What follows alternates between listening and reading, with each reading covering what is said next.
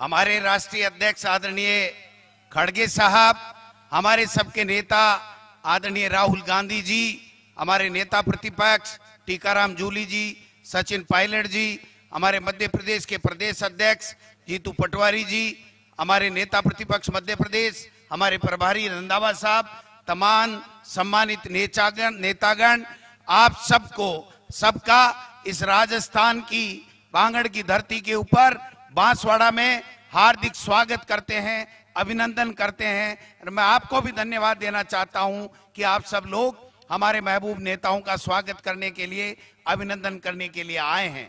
मैं ज़्यादा लंबी चौड़ी बात नहीं करूँगा।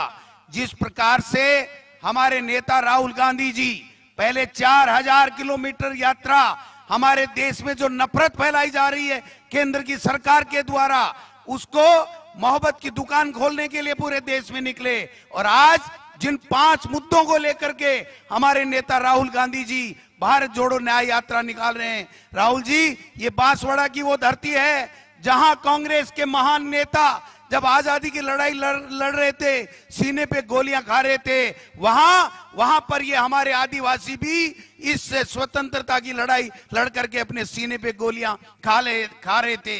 हमारे गुरु गोविंद की इस धरती के ऊपर ये हमारे आदिवासियों के डीएनए में कांग्रेस है। कांग्रेस कण कण में है। हर व्यक्ति में कांग्रेस है। और कांग्रेस को मज़बूत करने में हमेशा आदिवासी आगे रहा है। और आदिवासी को बढ़ाने में हमारी जब जब भी सरकारें चाहे केंद्र में रही हैं, चाहे राज्यों में रही हैं, सब जगह हमने इन आदिवासियों भाइयों के लिए और कल्याण के काम किए हैं बड़ी बड़ी योजनाएँ लेकर के आए हैं। मैं समझता हूँ, मनरेगा जैसी योजना जिसका जीवन इनको स्तर ऊँचा उठाने में काम किया आदिवासी भाइयों के लिए, ये हमारी यूपीए सरकार की, मनमोहन सिंह जी और सोनिया गांधी जी की देन थी, जिसको आज कमज़ोर किया जा रहा है।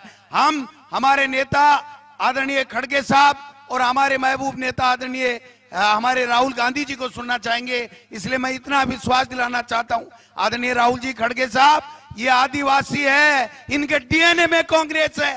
एक चला जाए, हज़ार नेता आएँगे, हर कांग्रेस को जिता करके आपकी झोली में डालेंगे। धन्यवाद, जय हिंद, जय भारत।